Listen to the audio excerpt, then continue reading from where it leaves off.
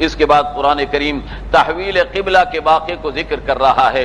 तहवील किबला का वाक़ा यह था कि पहले मुसलमान बैतुल मुकद्दस की तरफ़ रुख करके नमाज़ पढ़ा करते थे।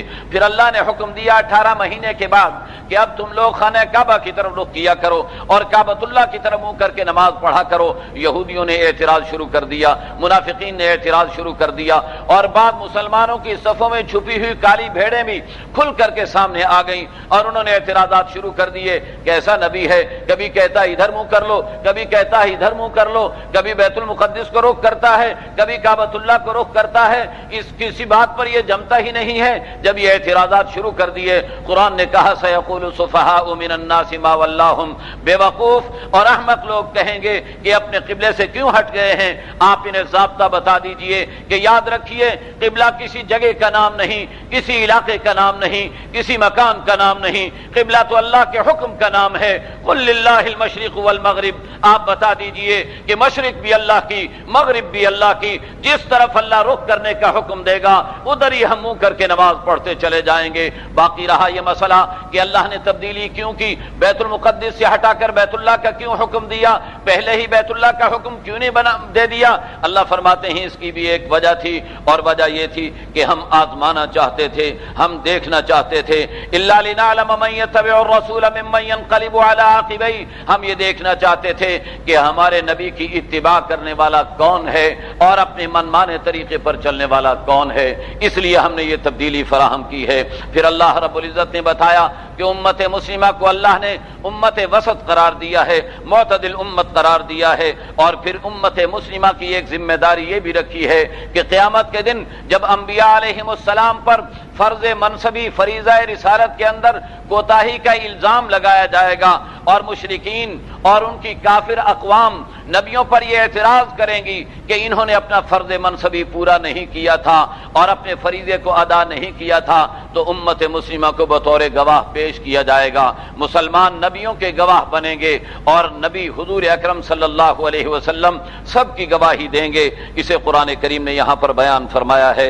फिर कुरान करीम ये बता रहा है कि आप चाहे सफ़र में हो, चाहे हजर में हो, हर हाल के अंदर किबला रुख होना ज़रूरी और लाजमी है।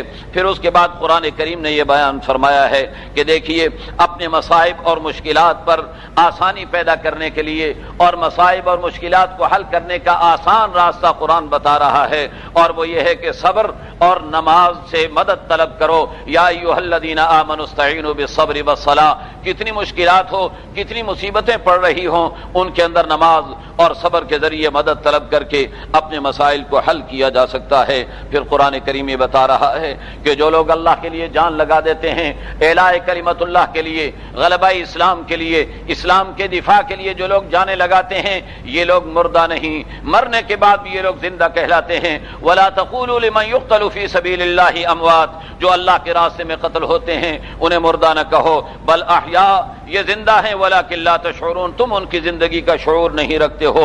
और फिर कुरान ये बता रहा है कि इस्लाम के लिए, ईमान के लिए और अल्लाह के दीन के लिए अगर आप तैयार हैं तो पूरी तरह से आपको तैयारी करनी होगी। मुश्किल आएँगी, मसाइब आएँगे, आजमाइशें आएँगी। याद रखो, तुम पर थोड़ा सा खौफ भी डाला जाएगा, भूख भी डाली जाएगी। माल और फलों के अंदर कमी कभी तुम्हें सामना करना पड़ेगा। वह बशीर साबरीन, इन तमाम मसाइब के बावजूद जो डटे रहे और साबित कदम रहे, ऐसे लोगों को खुशखबरियाँ हैं कि इन पर जब कोई मुसीबत आती है तो कहते हैं कि इन्ना व इन्ना राजून हम अल्लाह ही के हैं और अल्लाह ही की तरफ़ लौट जाएँगे।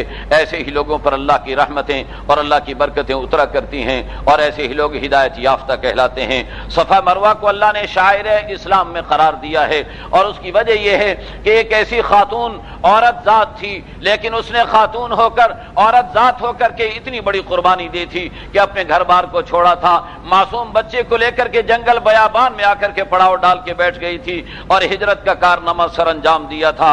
अल्लाह ने कहा कि सफ़ा मरवा, चूँकि उस खातून हज़रत हाजर आसलाम की यादगार है, इब्राहिम आसलाम की अहलिया मोहतरबा की यादगार है, इसलिए इसे भी शायर इस्लाम में करार दे दिया गया। हज बैतुल्ला के लिए जो जाएगा या उमरा करने के लिए जो जाएगा, उसे सफ़ा मरवा के दरमियान चक्कर लगाने पड़ेंगे। उस खातून की यादगार के तौर पर फिर कुरान ये बता रहा है कि अल्लाह ने जो हिदायत नाजिल की, जो आयतें अल्लाह ने आसमानों से नाजिल फरमाई, उन आयात के अंदर रद्दबदल नहीं करना और उन्हें छुपाना नहीं है, बल्कि खोल कर लोगों के सामने उन्हें पेश करना है। अगर कोई इससे पहलू तही करे और अल्लाह की आयात को छुपाए और अल्लाह के अहकाम को बयान करने से गुरेज करे, ऐसे इंसान को कुरान लानती करार दे रहा है। कुरान कहता है कि अल्लाह की भी उस पर लानत है और तमाम कायनात के लानत करने वालों की लानत उस पर पड़ती रहेगी। और कुरान करीम ये बता रहा है कि काफिर लोग अगर कुफर की हालत में इस दुनिया से चले जाएँगे तो वह अल्लाह की लानत के भी मुस्तक होंगे, फरिश्तों और तमाम इंसानों की लानत के मुस्तक होंगे। फिर कुरान ने तोहहीद का ऐलान किया, वह वाहिद लाहमान अकेला एक अल्लाह है जो इबादत के लायक है, उसके अलावा कोई मबूद नहीं, वो रहमान भी है, रहीम भी है। इन नफी खल्क समावती वल अर्द। अल्लाह की तोहहीद पर दलाइल पेश किए जा रहे हैं कि आसमान और ज़मीन में गौर कीजिए कश्तियों के अंदर गौर कीजिए कि किस तरह पानी पे चल रही हैं। और फिर आप जरा गौर करें कि इंसानों के मफादात इनके साथ वाबस्ता अल्लाह ने रखे हुए हैं। आसमान से बारिश बरसती है, ज़मीन से खेतियाँ उगती हैं। बताओ तो सही, ये सब कारनामे कौन सर अंजाम दे रहा है? अल्लाह फरमाते हैं कि इन सब के अंदर लायातिल कौमी याकिलून, अकल वालों के लिए निशानियाँ और दलाइल मौजूद हैं। अल्लाह फरमाते हैं कि जिस तरह गैरुल्लाह को मानने वाले मुशरक और काफिर अपने मबूदान बातिल से मोहब्बत करते हैं। ईमान वालों के ईमान का तकादा यह है कि इनके दिलों में अल्लाह की मोहब्बत उससे भी ज़्यादा होनी चाहिए। अल्लाह के लिए अगर वो कट मरते हैं तो ईमान वालों को इससे बड़ी कुर्बानियाँ देने के लिए भी अपने आप को तैयार रखना चाहिए। अपने खानदानों को भी कुर्बान करने के लिए तैयार रखना चाहिए। कल क्यामत का दिन होगा।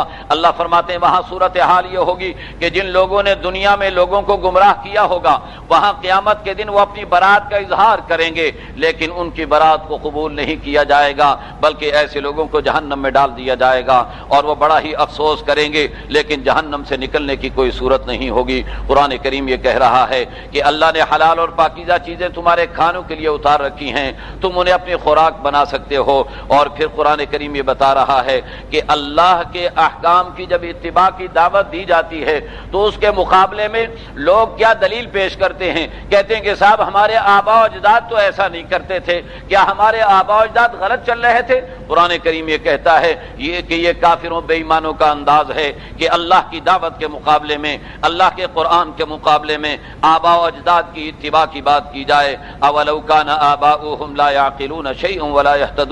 कुरान कहता है, अगर इनके बावजूद इनके आबा व अजदाद अकल से कोरे हों और हिदायत याफ्ता न हो तो क्या फिर भी ये उनके पीछे चलते रहेंगे? कुरान ने एक सरी जबता बयान कर दिया है कि अगर बड़े और अकाबिर असलाफ तुम्हारे सही रास्ते पर चलने वाले हैं तो उनसे ताल्लुक का उस्तवार करना ईमान का तकादा है। और अगर तुम्हारे बड़े अल्लाह की बातों की मुखालफत करने वाले हैं तो उनसे ताल्लुक को तोड़ लेना ही तुम्हारे ईमान का तकाजा है। कुरान करीम इसके बाद ये बता रहा है कि तुम पर मुर्दार को हराम किया गया है, बहते हुए खून को हराम किया गया है, खिंजीर के गोश को हराम किया गया है, और गैरुल्लाह के लिए जो चीज़ भी नामजद कर दी जाए, उसे हराम कर दिया गया है। अलबत् अगर किसी की जान जा रही हो और उसे इसके अलावा कोई चीज़ मुयसर ना आती हो तो उसे इस्तेमाल करने की सद रमक अपनी जान बचाने के बकदर उसे इस्तेमाल करने की इजाज़त दी गई है। फिर कुरान करीम ने, नेकियों की फहरिस्त बयान फरमाई है और उसमें बताया यह है कि नेकी इस बात का नाम नहीं जिसे तुम नेकी समझने लग जाओ, बल्कि नेकी तो इस बात का नाम है कि जिसके करने का अल्लाह हुक्म दे दे। तो तुम्हारा माल अगर अल्लाह के कहने पर इस्तेमाल हो तो यह भी नेकी है और तुम्हारा जिसम अल्लाह के कहने के मुताबिक नकलो हरकत करे, ये भी नेकी है।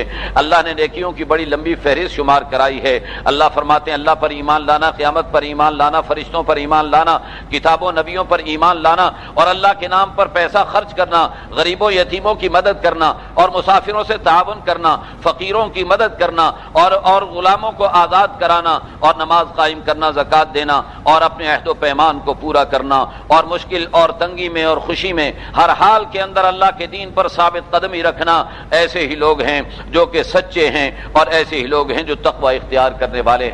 फिर कुरान करीम कानून साजी कर रहा है, इंसानियत के तहफ़ के लिए, और उसके लिए कुरान किसास का कानून बयान कर रहा है कि अगर किसी को कत्ल किया जाएगा तो बदले में उसे भी कत्ल किया जाएगा।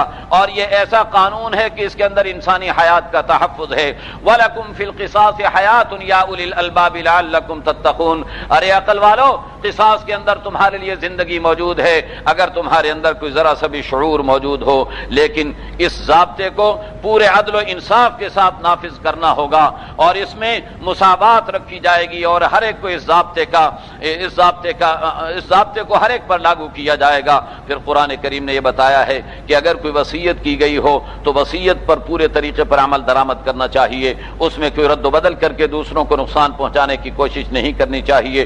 फिर कुरान करीम ने निज़ाम श्याम को बयान फरमाया। रोज़ों का जो निज़ाम है, कुरान उसे बयान कर रहा है। और कुरान करीम ने यह बताया है कि रोज़ों के निज़ाम के ज़रिए इंसानों के अंदर कुरान पर अमल करने का जज्बा और कुरान पर अमल करने की सलाहियत बेदार होती है। इस बिना पर यह रोज़ों का निज़ाम मुसलमानों को पेश किया जा रहा है और रमदान के मुबारक महीने की आदमतें कुरान के नजूल की बिना पर हैं। इसलिए रमदान की फजीलत को भी बयान किया और रोज़े के कुछ अहकाम को बयान फरमाया और यह बताया कि दुआएँ एक अल्लाह ही से मांगी जाएँ। अल्लाह दुआओं को कबूल करने वाले हैं और रमदान की रातों में खाने पीने की भी इजाज़त दी, बीवियों से मिलने की भी इजाज़त दी और एहतिकाफ की हालत के अंदर पाबंदी लगाई। कि ऐसे अमाल जो एहतिकाफ के बगैर इंसान सर अंजाम दे सकता है, बहुत से ऐसे अमाल हैं जो एहतिकाफ के अंदर सर अंजाम देने की इजाज़त नहीं है। फिर कुरान ने यह बताया कि बाहमी अम्बाल को बातिल तरीके और नाजायज तरीके पर न खाया जाए और मुकदमात कायम करके दूसरों को नुकसान न पहुँचाया जाए।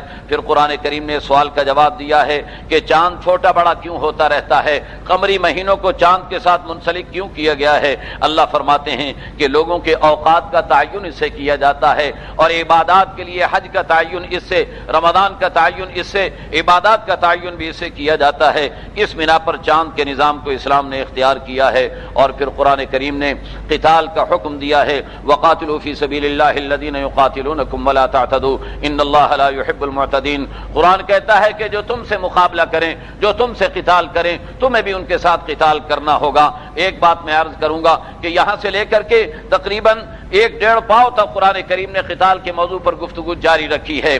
लेकिन अजीब बात है कि कुरान करीम ने यहाँ जिहाद का लफ्ज इस्तेमाल नहीं किया। लोग जिहाद के लफ्ज के अंदर तावीलें करते हैं तो जिहाद करते हैं कि साहब हम भी जिहाद कर रहे हैं, हम बयान करके जिहाद करते हैं, हम कलम के ज़रिए जिहाद करते हैं। इसलिए कुरान करीम ने कताल का लफ्ज इस्तेमाल फरमाया है, कतल का लफ्ज इस्तेमाल किया है। और कुरान कहता है कि कुरानी निज़ाम के मुकाबले में जो भी आए, उसे कत्ल कर दिया जाए। ऐसे शख्स को बाकी रहने की इजाज़त नहीं दी जा सकती, जो कुरानी निज़ाम का मुकाबला करता हो। कुरान करीम ये कहता है कि तकून फितना, उस वक़्त तक किताल जारी रहेगा, जहाद जारी रहेगा, जब तक दुनिया से फितना खत्म न हो जाए। वह यकून दीन कुल्ला और पूरी दुनिया का निज़ाम एक अल्लाह के लिए करार पा जाए। फ़ैन फलाउदवानमीन इसके बाद कुरान करीम ने बताया है कि अल्लाह के नाम पर पैसा लगाना यह कामयाबी और नजात की दलील है। और अल्लाह के नाम से पैसे को बचा लेना यह हलाकत की निशानी है। कुरान करीम ने हज उम्र को मुकम्मल करने का हुक्म दिया है। एहसार, यानी अगर एहराम बांधने के बाद भी काबतुल्ला तक पहुँचना मुमकिन न रहे तो ऐसी सूरत के अहकाम को भी कुरान करीम ने बयान फरमाया है। फिर हज के अहकाम को बयान किया और हज के अंदर मुसावत के मौजू पर खसूसी तवज्जो फरमाई है। और फिर उसके बाद कुरान करीम ने दो किस्म के अफराद का तस्करा किया। एक वो लोग जो अल्लाह की बात को सुनकर इतराते हैं और अकड़ते हैं तकबर करते हैं। अल्लाह की बात को मानने के लिए तैयार नहीं होते। अल्लाह फरमाते हैं, ऐसे लोगों के लिए तो जहन्नम काफ़ी और शाफी हो जाएगी। इसके बिलमुकाबिल ऐसे लोग हैं जो अल्लाह के लिए अपनी जानें खरीद लेते हैं। अल्लाह की रजामंदी के हसूल के लिए सब कुछ दाव पर लगाने के लिए तैयार हो जाते हैं। अल्लाह फरमाते हैं कि ऐसे बंदों पर अल्लाह बड़ा ही मेहरबान है। अल्लाह ने मुसलमानों को दावत दी कि मुसलमानों यादीना काफा पूरे पूरे इस्लाम में दाखिल हो जाओ और शैतान की इतबा न करो। फिर अल्लाह ने बनी इसराइल पर अपने इनाम इनाम का तस्करा फरमाया। फिर अल्लाह ने यह बताया कि जन्नत में जाने के लिए याद रखो, कुर्बानियाँ देनी पड़ेंगी, मुसीबतें और मशक्क़तें झेलनी पड़ेंगी। इसके बगैर जन्नत का रास्ता मुयसर नहीं आ सकता है और कुर्बानियों के बाद ही अल्लाह की मदद उतरा करती है। फिर कुरान करीम ने अल्लाह के नाम पर खर्च करने की तलकीन फरमाई है और कुरान करीम ये बता रहा है कुतिबाकुम जहाद अगरचे नागवार गुजरता है, किताल नागवार गुजरता है, लेकिन अल्लाह फरमाते हैं, ये तुम्हारे लिए बेहतर और तुम्हारे मफाद में है। इस बिना पर तुम पर जहाद को फ़र्ज़ किया गया है। और फिर कुरान करीम ये बता रहा है कि मुशरकिन सवाल करते हैं अन शहर हराम कितालफी मुशरकिन ये सवाल करते हैं कि हराम हरमत वाले महीने, यानी शाबान रजब के महीने के अंदर किताल करना, इस महीने के किताल के बारे में क्या हुक्म है?